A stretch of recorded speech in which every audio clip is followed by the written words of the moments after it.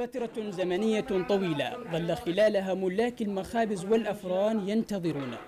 لعلها تأتي بشيء جديد فيما يتعلق بتحسين الظروف الاقتصادية واستقرار العملة الوطنية.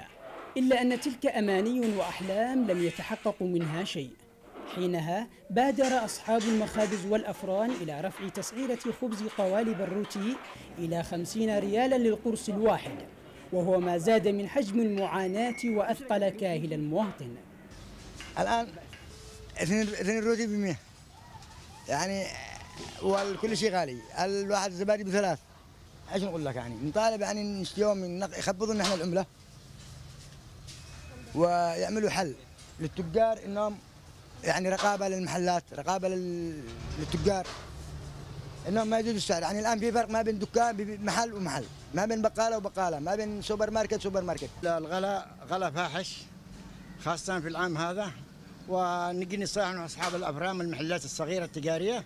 يقول لك علي أنا غالي شراء. ولكن نطالب من الدولة بمحاسبة التجار الكبار أو النزول عليهم بالتسعيره الرسمية.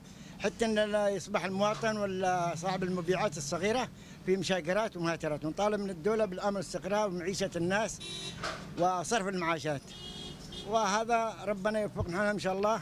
ولكن الشعب تعبان نكدان ظروفه صعبة.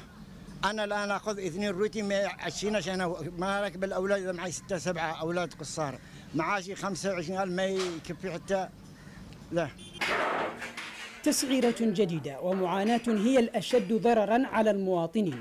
يرجع ملاك المخابز والأفران أسبابها إلى زيادة أسعار المواد الغذائية ودقيق القمح. نحن أصحاب المخابز نعاني من غلاء في الدقيق في الزيت في المحسن في الخمير في العلاقي في الحطب في الإيجارات في كل شيء. المواطن يهتم إحنا إن إحنا نرفع القرص الروتين. فلهذا المواطن الواعي فاهم بكل شيء لكن بعضهم يقول إن إحنا إحنا اللي إحنا نرفع قرص الروتي وهذا ليس من إحنا قرصين ونص ب 100 طيب يخارج من؟ على حساب من هذا؟ من سعر لهم أول قرصين ونص؟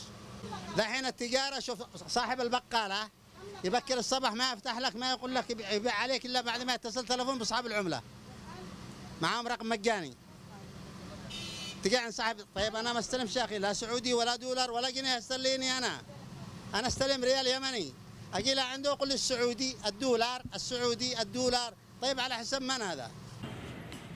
أسباب كثيرة. ألقت بظلالها على حياة ومعيشة المواطن البسيط. يعيش حياته بين معاناة الانتظار ومرارة العيش.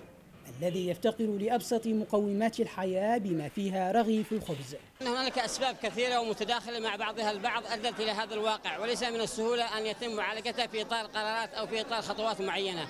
البلد بكله يحتاج إلى عملية سلام يحتاج إلى إعادة الصادرات البلد يحتاج إلى عملية تنمية يحتاج إلى إعادة إعمار يحتاج إلى كثير من الأساسيات التي بإمكانها أن تعود التنمية عجلة التنمية من جديد وليس بالإمكان قرارات لحالها أو خطوات معينة أو إعلانات أن تعيد الوضع إلى ما كان عليه بعد سبع سنوات من الحرب والدمار والخراب. هكذا يعيش المواطنون في عدن وغيرها من المحافظات اليمنية حاملين هموم حياتهم ومعاناة عيشهم التي تتفاقم يوما بعد آخر جراء ارتفاع أسعار المواد الغذائية والوقود وتهاوي قيمة الريال اليمني إلى أدنى مستوياته أمام العملات الأجنبية.